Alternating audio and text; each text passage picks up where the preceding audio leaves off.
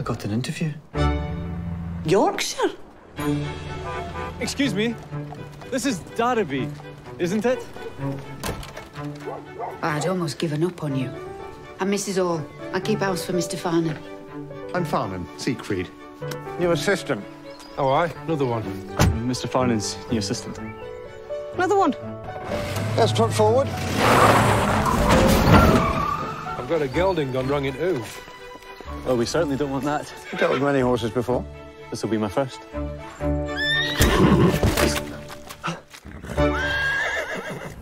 Pick my brother up from the station. He should be on the 4.30. How'd you find him?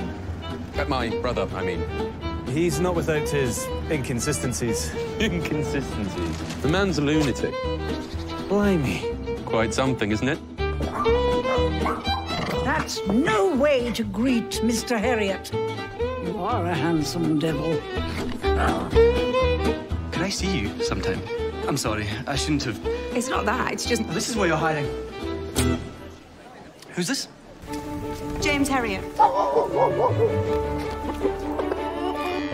Harriet! Siegfried's bark really is worse than his bite. Underneath it all, he's a good man. Stand up to him. He'll love you for it. Up in the dales, surrounded by those hills. There's no place on earth like it. Careful. Once it gets in your bones, it's hard to get out. I'm not sure I want it to.